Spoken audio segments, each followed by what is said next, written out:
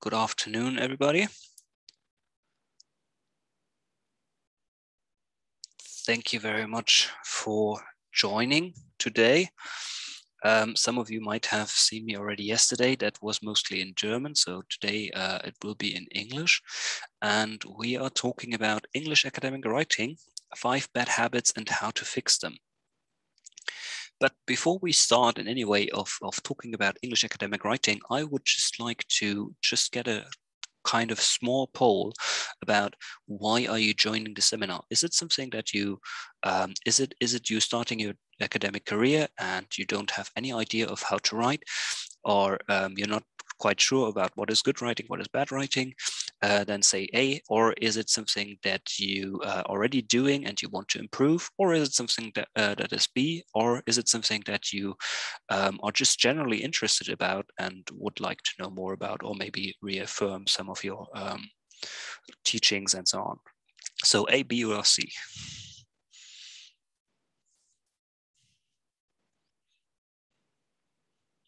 Okay a lot of C's. Okay, so it's more onto a general audience today than specific uh, goal or, or issue that you want to, to achieve here. Very good. Okay, just telling you a little bit about my background, my personal background. Um, I am a CELTA certified teacher.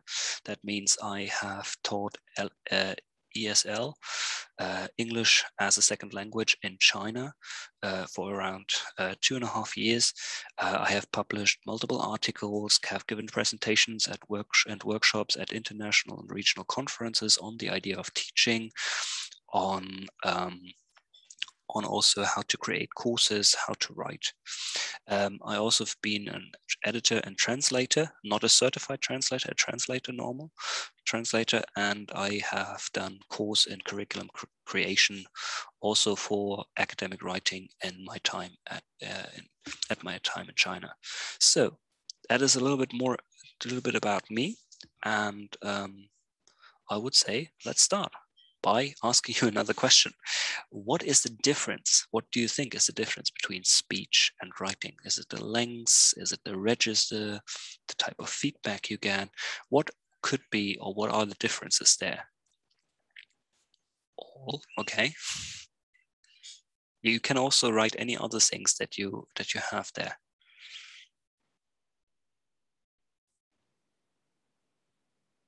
Vocabulary, okay, yeah definitely. Especially register country degree of complexity, uh, complexity style, yes. More time to think in writing, okay.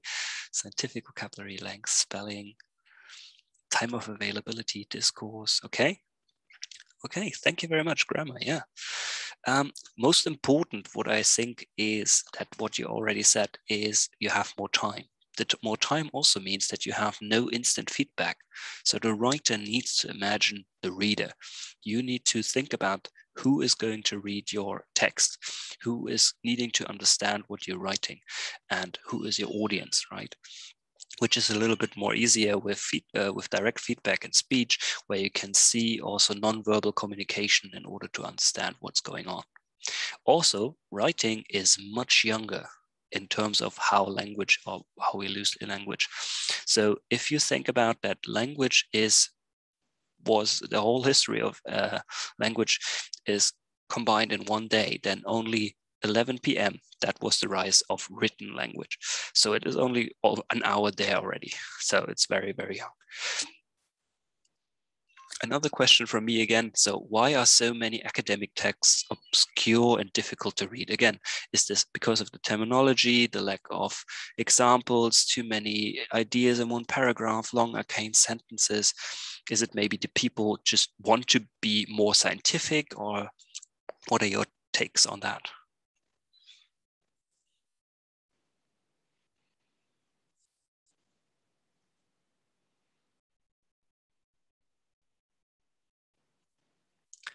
Scientists think that way. High density of information, readers, writers' responsibility may the fact that the author is trying to appeal many at once, terminology, okay. Consu that is a nice one. You can conceal your own confusion and obscurity. Right, Okay. bad writing yeah bad writing has has different uh yes okay basically what i would like to do today as we say bad habits we will look at um we want to look at three major things that you can do while writing and also about the idea of habit creation and how to think about your writing process. Those are the other two. So first of all, let's have a look at the best thing to do when you're writing or when you edit your writing is to use the active voice. That means verbs that drive along the, the sentence, trying to avoid the passive voice. This is something scientists like to do a lot of times. And um, so, however, this makes certain things much more unclear. So the active using the active voice is always understanding who is doing what what is the cause and what is the effect of the scent of, of the people, what they're doing. Also, it is also a responsibility. Think about mistakes have been made. That is a very nice standard sentence that you can read or that you can hear also a lot of times from maybe a government official. Mis mistakes have been made, not by me, not by you, not by them, somebody made mistakes and yeah now they are there so you can also shift responsibility and don't take it yourself. And also it is about readability. The usually if you use the passive voice your sentence become much more longer and um, it is much less like we communicate. If you think about it we usually say sarah throws the ball not the throw the, the ball is thrown by sarah right? So this basic understanding of subject, verb, object using the active voice is something that helps your writing to become clearer. Um, you show who is responsible for the action that has been done and is better readable. I have given, I have prepared two example sentences using the passive voice. So it was concluded that the data had been falsified. And the second one, Furthermore, the reincarceration rate of African Americans has increased disproportionately to other groups since the legislation to distress the system in the US to be privatized was passed. That's a long sentence. So maybe take a moment, just read that sentence for yourself and think about what could we do thinking about that we change from the passive into the active voice. So the first sentence could be something like this. The editors conclude that the authors falsified the data. So it is most important to know who concluded that. Yeah, the editors do. So they barred us more or less to um, from, from false information and data in the area of uh, fake news and everything that is most important that authors should not falsify their data. And if the authors did so, they have to be called out on that. And the second one is also, again, we have no responsibility of who is passing legislation. Who is doing that? That is usually the state governments in the, U in the US, and they allowed that, that to happen, maybe by intent, maybe uh, unintentionally.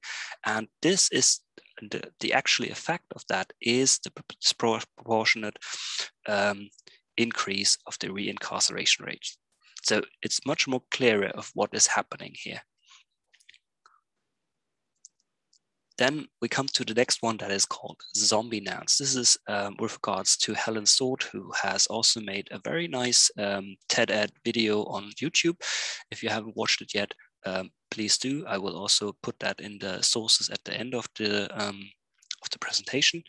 And what is a what is a zombie noun? A zombie noun usually is something that is an abstraction of an already existing verb is uh, an abstraction of this already used verb or a noun that is added a suffix. So for example, the globe, to globalize, globalization, okay? That is, that is her biggest um, uh, example there. And those are some of the endings that you can use. A zombie noun usually you try to reduce the readability and make it more obscure for the reader to understand what the actual intent of the writer is of the, of the message is. I have brought you another sentence here, and that is the occasional zombie noun will not sink your writing. What will, however, is a reliance on nominalizations that prevent good writing through abstraction and that are an indication of an insufficiency of time spent editing.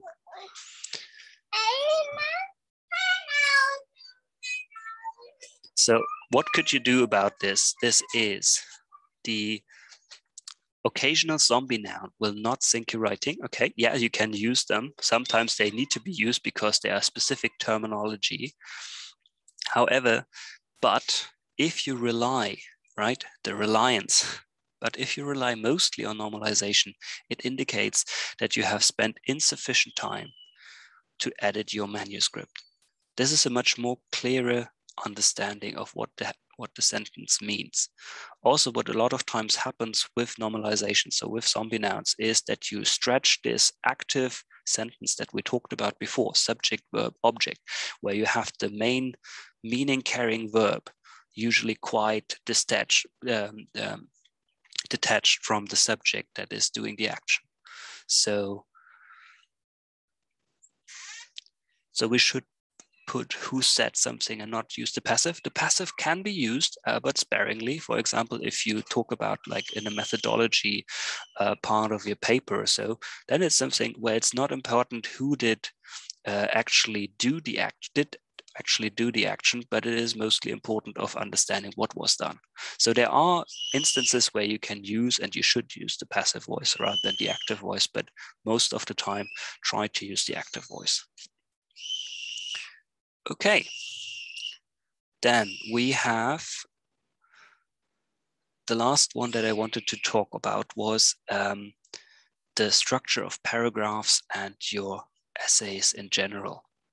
They should be the paragraphs, specifically the paragraphs, they are about on one idea, right? They are about carrying one idea and they should be short, they should be focusing on one idea only. So you shouldn't try to cram too many things in there as you have already stated up there in the comments um, above.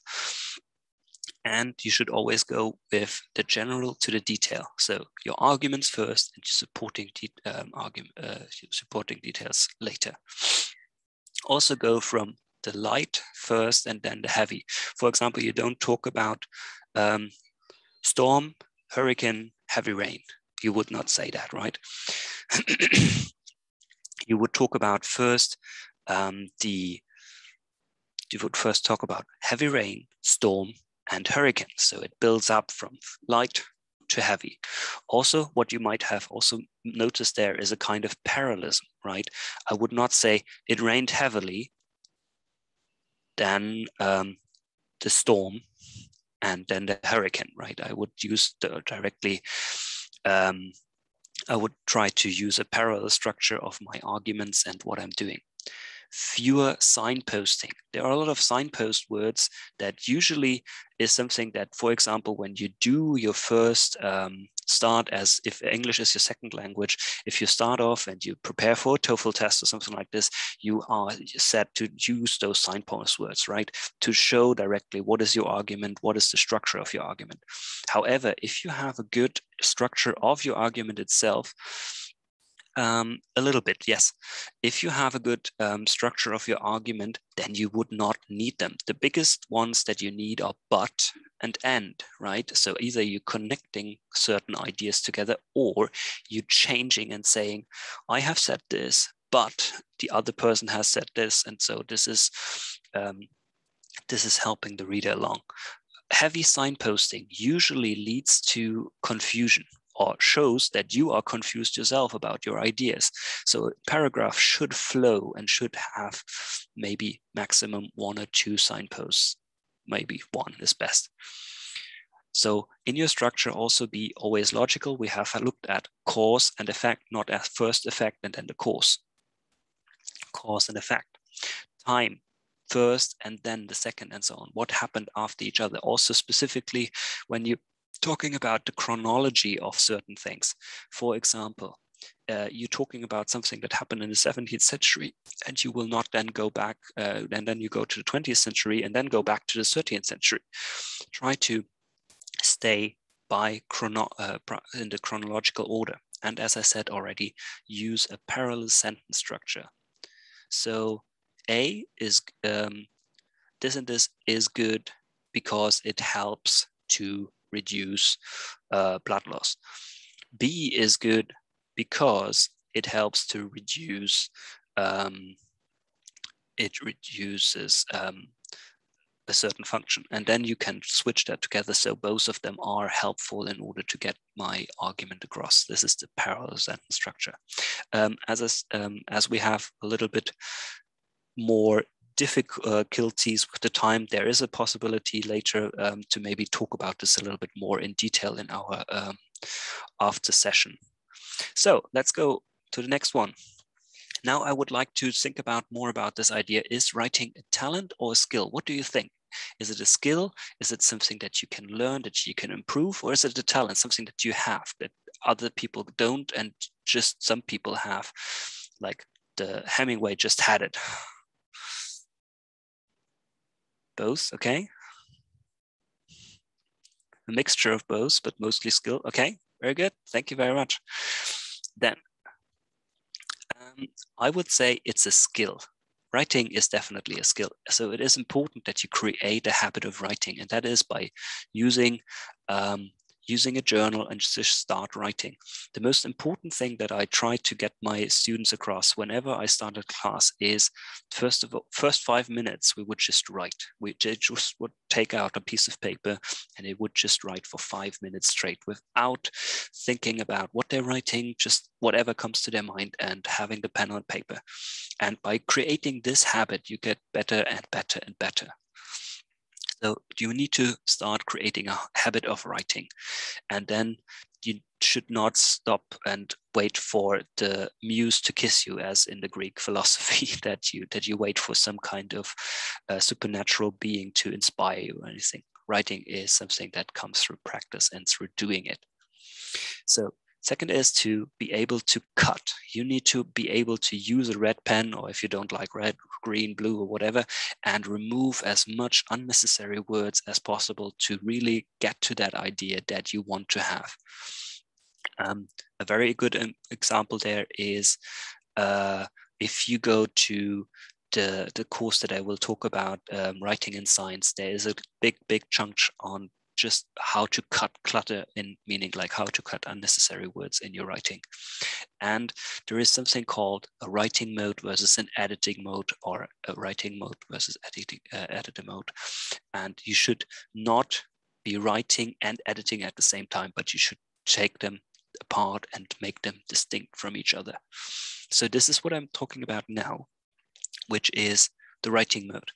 In the writing mode, you continue writing without actually um, rechecking what you have wrote. You finish your paragraph or idea um, as a draft before you revise it. So this is something what you usually do when you're sitting on a computer, you're writing a sentence and you say, uh, once upon a time, there was a castle. And you say, no, it wasn't a castle it was a palace. Okay. And you go back with the backslash and you type in palace, and then you have lost what you actually wanted to write. This is very, very bad. Writing mode, just try to continue writing, write out this paragraph that you had in your mind without ever checking or anything, and also without going backlash and saying, oh, I, I misspelled uh, that because I pressed the I instead of the D or something like this. Best is always to cover your display if you're writing on a computer or to hide the lines that you have already written with a piece of paper when you're writing on a, on a sheet of paper. And then you go into editing mode once you have done that. And the editing mode is then when you go, first of all, to reread your sentence and your paragraph. So check whether there is something that you have to say in that paragraph. Is there an idea? Is, the, is the idea clear? If that didn't happen at all yet, then you first need to understand or think about what is the idea, what is what is what is my argument, what is what did I want to come uh, bring across. After that, you can go into fixing your spelling and your grammar, and um, then you can go and reread. Do this, what I said, cut, cut, cut, unnecessary words and phrases, and also then restructure your argument. And then you need to repeat that over and over and over again. This is what poets, novelists, and so on do. Yes, they do that all the time, and they let also a lot of other people do that for them.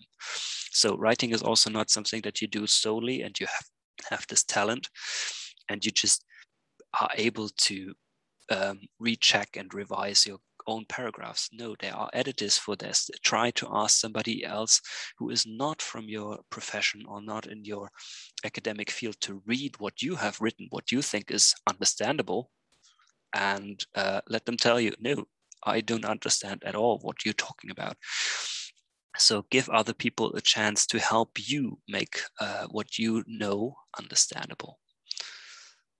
So I have some uh, good sources, I think, that uh, could help you with your um, yeah endeavor to write better, to get along, and that it would be uh, a very good book by Steven Pinker, a one uh, a linguist and cognitive scientist who has written a lot about language and specifically also on the sense of style where it is a, a very good um, understanding of how to use grammar, what grammar actually means. So it's not like this, what we maybe have heard in, in school directly, but how actually those different things combine sense and give um, and uh, deliver meaning.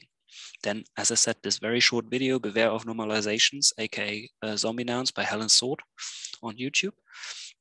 And if you want to get a kind of starting point where you um, mix this with i just want to get some ideas and some some techniques then writing in science by uh, Kristin Sainani um, on coursera is also a good way to go to in general if you want to improve your writing in any case whatever you do read read read read good writing. Read good novels and so on. It doesn't need to be academic and then try to analyze why do you enjoy this reading uh, reading this essay this paper this book? Why is it? Try, try to actively read it. Rather than just trying to understand what it's saying try to also understand what how it's saying it. Also think about using a thesaurus and a dictionary please do not only use uh, thesaurus because what happened a lot of times, specifically in academic writing, when you're writing from um, in a, an, as, as a foreigner, so not as a native speaker or somebody in the field that is new in the field, you want to be uh, to express yourself more and more, and you want to use different words and different terms do not do that. If you have a certain academic field and you have a term for a certain thing, use that term because every time you exchange it for a different term, for a, son- a synonym, that could bring with it a whole bunch of other understanding nuances and so on that shouldn't be there.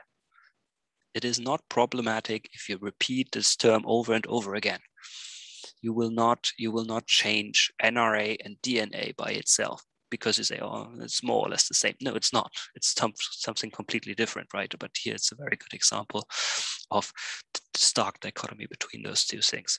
And a dictionary, when you use terms, try to understand what they actually mean, because not everything that is a synonym has also the same meaning. There is, as we said, also a different register of when you should use certain terms. So some languages, some verbs are not um, should not be used when you um, writing academic. Well, when you're writing something casually, you can do that. So use a dictionary to get also a little bit of understanding. What does this word actually mean? and also get yourself a comprehensive guide on grammar. As I said, Steven Pinker has a little bit on grammar, but not in, in the way of how we do that. Um, also in order to argue with other people because they say, you shouldn't say that, or the comma doesn't go there and you say no it goes there because i intended it to be like that. So you also need to be able to argue against somebody else um, saying that what you're doing is wrong. And the more you understand about grammar the better you get. Um, could i recommend a good grammar book? Uh, unfortunately on top of uh, on top of my head i don't have a grammar book right now. But i think um, if you go to uh, Cambridge or Oxford, you, would definitely get also a good grammar book there. So as you have the Oxford or Cambridge dictionary, you also have their grammar guides that definitely could help you there for um, specifically UK um, uh, for, for British English. Okay, um, we're nearing the end of this. We have only five minutes left. So um, oh, there's a little bit of German in there. Sorry, sorry about that. Um, I just want to introduce very shortly also the academy that I'm working with, and uh, that is the Arts Martini Academy. You can see the um, thing over here, and um, they have in very individualized courses, very theme and context based, and it's very time adjusted. So it's there to the uh, to the learner. It's both basically or mostly um, geared towards students, working professionals, and uh, specific fields like um, technicals, uh, technical translations, and so on. And also, you can do their technical translations and prose translations. So actually, also novels and so on can be translated in that academy. And um, due to the fact um, that it is the EXPOLINGUA today, um, there is a small short offer um, that you can book a course in order to get um, a course of six people maximum with two times a week for two months on the idea of writing that I will be giving on starting off with basic um, understanding of writing um, habits and so on, and then later getting into the idea of speech writing and then going back to this uh, bigger thing of essay writing. So that is from my side for now. Um, we have still four minutes until we need to get to the next after meeting. Um, and the link will be sent in the chat in a moment, or you can also see it on the website on the uh, presentation there. Uh, do you have any more questions by now? For now, so before we go then into the after meeting. Thank you very much. I thank you that you enjoyed it.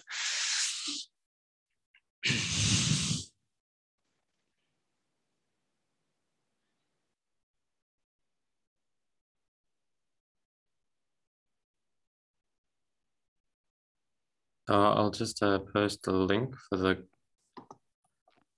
yeah for the um, meeting. Just a moment.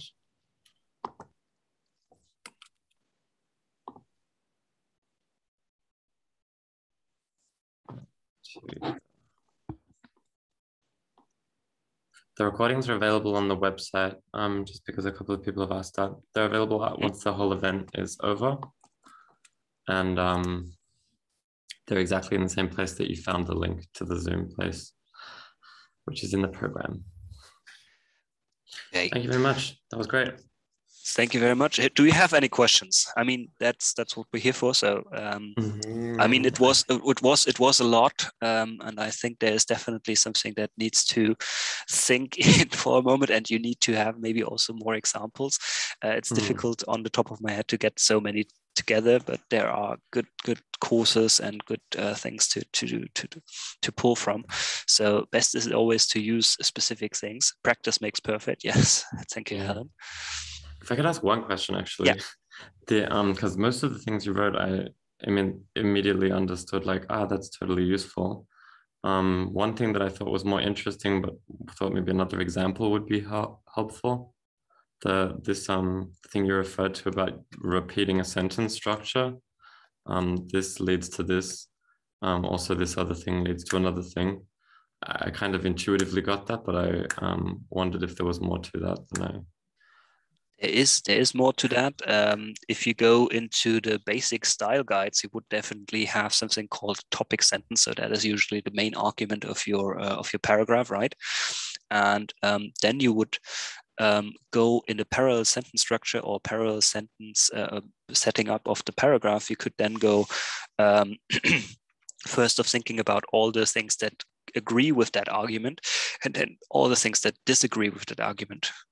So um, that is that is that is the idea. You mean parallelism doesn't mean only sentence structure, but in general, trying to get the reader the same A, B, C, and then A, B, C. You know that you did you get that?